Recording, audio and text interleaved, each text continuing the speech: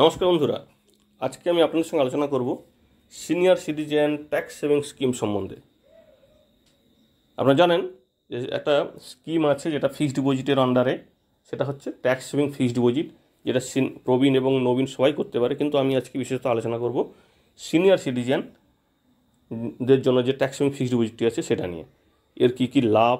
ভারতের যে সমস্ত ব্যাংক আছে, সরকারি, বেসরকারি বা স্মল ফাইন্যান্স ব্যাংক তো কোন ব্যাংকে সুদের হার কত দিচ্ছে ট্যাক্স সেভিং ফিক্সড ডিপোজিটের উপর এবং যেহেতু এখানে সুদ, এখানে সঞ্চয় করা যায় দেড় লক্ষ টাকা পর্যন্ত বৎসরে, অর্থাৎ আপনি ট্যাক্স ছাড় পেতে পারেন, সেক্ষেত্রে দেড় লক্ষ টাকা পর্যন্ত যদি আপনি ইনভেস্ট করেন ট্যাক্স সেভিং ফিক্সড ডিপোজিটে কোন ব্যাংকের ক্ষেত্রে আপনি কত টাকা রিটার্ন পাবেন? এইগুলো আপনাদের সঙ্গে সম্পূর্ণ বিস্তারিত তথ্য সহ আলোচনা করব। যদি আপনার এর মধ্যে কোনো ব্যাংক হয়, তাহলে আপনার পক্ষে আরও সুবিধা হয়ে যাবে যে আপনি এর মধ্যে কোন রিটার্নটি পাবেন বা কত সুদটি পাবেন।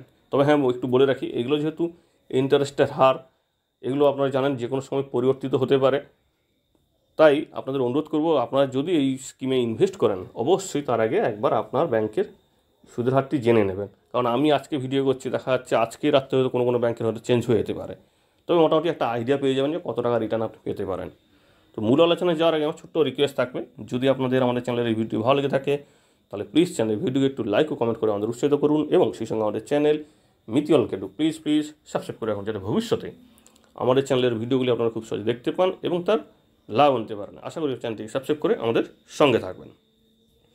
ফিক্সড ডিপোজিট আমাদের ভারতীয়দের কাছে সবচেয়ে একটা নিরাপদ এবং গ্যারেন্টেড রিটার্ন কারণটা কি? এখানে একটা মোটামুটি আন্দাজ করা যাবে যে আপনি কত পাবেন এর ম্যাচিউরিটির পরে এবং যেহেতু ব্যাংকে এবং পোস্ট অফিস সাধারণত করা হয় ফিক্সড ডিপোজিটগুলো সেক্ষেত্রে একটা নিরাপত্তার মানুষ বোধ করে এখানে যে এখান থেকে টাকাটা কিছু সমস্যা হবে না। যদিও কর্পোরেট সেক্টরেও এফডি করা যায়, যেটা নিয়ে আমাদের একটা ভিডিও আছে, কিন্তু ভারতীয়দের মধ্যে সেই কর্পোরেট এফডির দিকে এতখানি যে এখনও কিন্তু ঝোঁক নেই।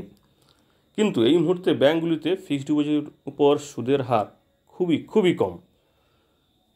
কিন্তু দেখা যায়, যদি আপনি এই যখন সুদের হারটি এত কম, তারপরে যখন আপনি মান্থলি নিতে যাচ্ছেন বা কোয়ার্টারলি নিতে যাচ্ছেন, সেক্ষেত্রে হয়তো দেখা গেলো খুব কম পরিমাণে অ্যামাউন্ট আসছে।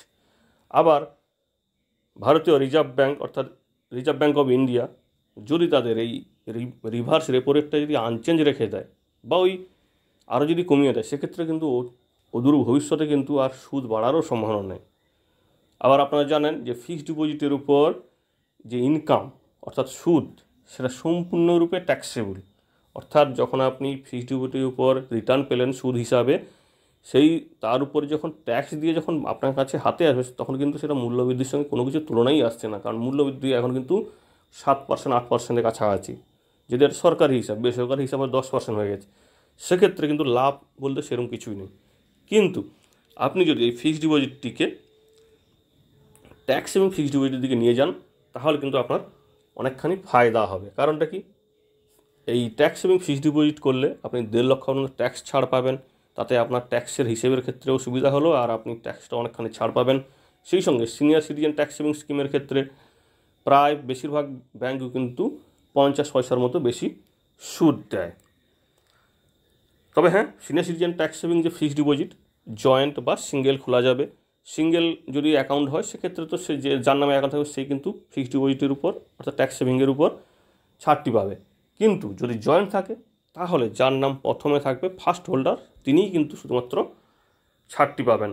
তবে হ্যাঁ এখানে কিন্তু আপনি প্রি ম্যাচিওর উইথড্রল করতে পারবেন, অর্থাৎ সময়ের আগে এই ফিক্সড ডিপোজিটটিকে ভাঙতে পারবেন না। কারণটা কি? আপনি এখান থেকে যেহেতু ট্যাক্সের ছাড় নিয়েছেন, তাই আপনাকে পাঁচ বছর অপেক্ষা করতেই হবে। পাঁচ বছরের জন্য ট্যাক্স সেভিং এফডিগুলো হয়।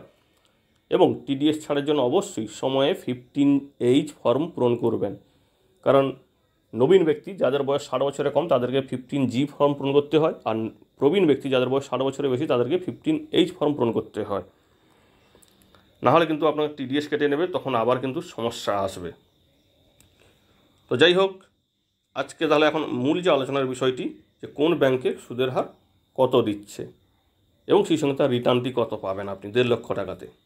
প্রথমে বলব সরকারি ব্যাংকের ক্ষেত্রে। সরকারি ব্যাংক প্রথমে যেটা নামটি আসছে, ব্যাংক অফ মহারাষ্ট্র। এদের সুদের হার, এগুলো সবই কিন্তু সুদের হারগুলো বাৎসরিক, আমি আর প্রতিবারে হয়তো আপনাদের বলতে পারব না। এবং রিটার্নটা যেটা পাবেন সেটা দেড় লক্ষ টাকার উপর পাঁচ বছরের জন্য। তো ব্যাঙ্ক অফ মহারাষ্ট্র দিচ্ছে পাঁচ টাকা চল্লিশ পয়সা শতকরা। রিটার্ন পাবেন দেড় লক্ষ টাকাতে এক লক্ষ ছিয়ানব্বই হাজার একশো চল্লিশ টাকা। ব্যাঙ্ক অফ বরোদা পাঁচ টাকা পঁচাত্তর পয়সা সুদের হার। রিটার্ন পাবেন এক লক্ষ নিরানব্বই হাজার পাঁচশো পঞ্চান্ন টাকা। ব্যাঙ্ক অফ ইন্ডিয়া সুদের হার পাঁচ টাকা পঞ্চান্ন পয়সা। রিটার্ন পাবেন এক লক্ষ সাতানব্বই হাজার পাঁচশো সাতানব্বই টাকা। কানাড়া ব্যাংক, সুদের হার পাঁচ টাকা পঁচাত্তর পয়সা। রিটার্ন পাবেন এক লক্ষ নিরানব্বই হাজার পাঁচশো পঞ্চান্ন টাকা। সেন্ট্রাল ব্যাঙ্ক অফ ইন্ডিয়া, এদের সুদের হার ট্যাক্স সেভিং ফিক্সড ডিপোজিটের ক্ষেত্রে পাঁচ টাকা পঞ্চাশ পয়সা এবং আপনি রিটার্ন পাবেন এক লক্ষ সাতানব্বই হাজার একশো দশ টাকা। ইন্ডিয়ান ব্যাংক, এদেরও সুদের হার পাঁচ টাকা পঁচাত্তর পয়সা।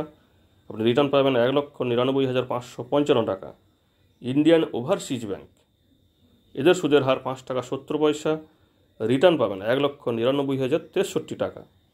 পাঞ্জাব ন্যাশনাল ব্যাংক ভারতের দ্বিতীয় বৃহত্তম ব্যাংক তো সেক্ষেত্রে তাদের সুদের হার হচ্ছে পাঁচ টাকা পঁচাত্তর পয়সা রিটার্ন পাবেন এক লক্ষ নিরানব্বই হাজার পাঁচশো পঞ্চান্ন টাকা।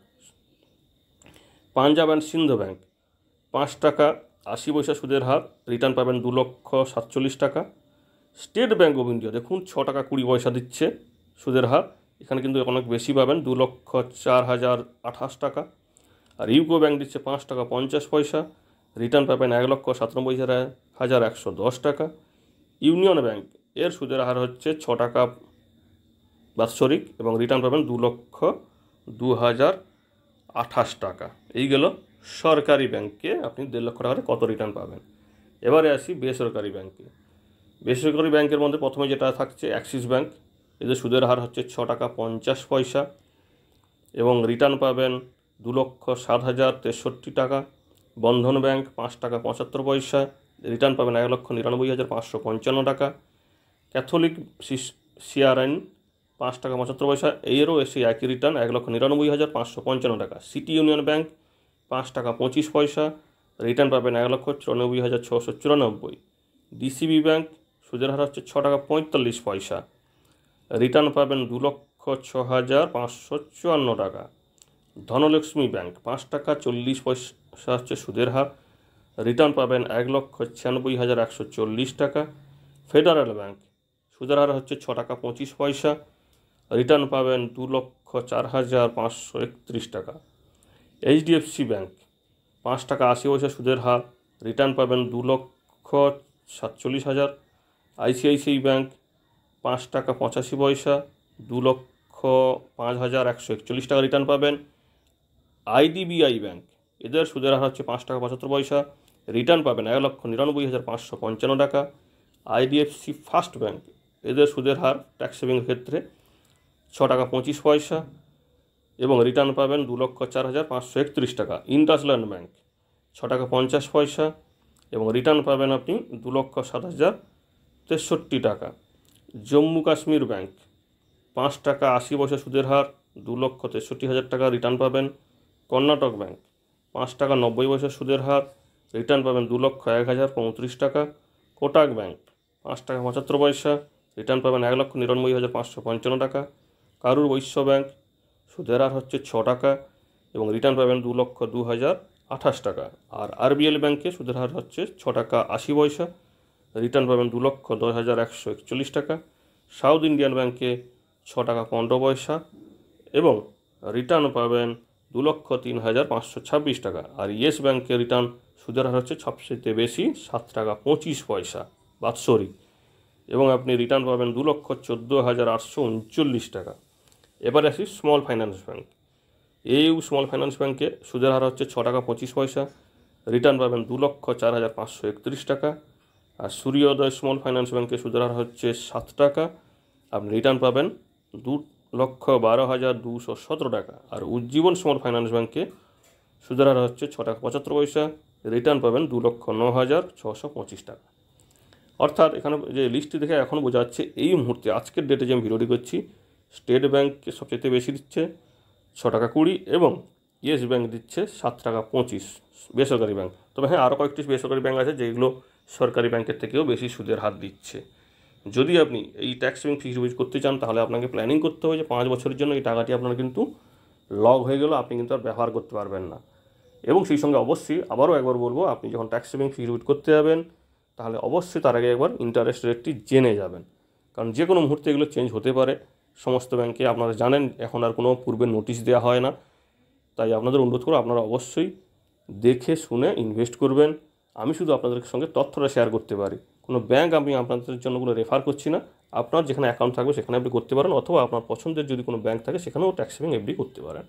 ধন্যবাদ। সবাই সুস্থ থাকুন, খুশি থাকুন এবং সজাগ থাকুন। দেখা হবে পরবর্তী ভিডিওতে